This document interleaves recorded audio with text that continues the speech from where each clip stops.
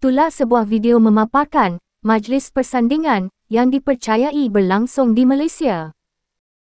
Di dalam video tersebut dapat dilihat pasangan pengantin ditabur serta dikalungkan dengan rantai yang diperbuat daripada wang kertas RM5 dan juga RM50.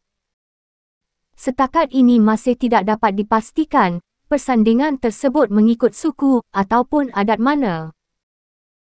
Namun yang pasti, rata-rata netizen tertarik dengan majlis persandingan tersebut